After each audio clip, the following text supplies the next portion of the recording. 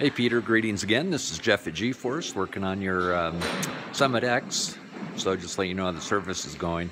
Uh, got your brake master cylinder put on and bled. Everything is good there. Um, while I'm over here, I am going to mention that your belt uh, didn't have any burns in it, but it was just worn out. I couldn't get it tight enough. Um, so I'm going to, your spare looks new, so I'm putting that on. And the original one will work to get you home, but it's it's done. So no issues there, but we want to get that changed. And then moving over here, I noticed, I know we talked on the last video where I mentioned that your uh, drive chain was loose. Sorry for the jerking there. Um, so it's your chain. It's almost hitting the case there. So we're going to put shockproof uh, gear oil in there. It's a great oil, minimizes chain stretch. Um, other than that, everything's looking good. I've got your clutch over here.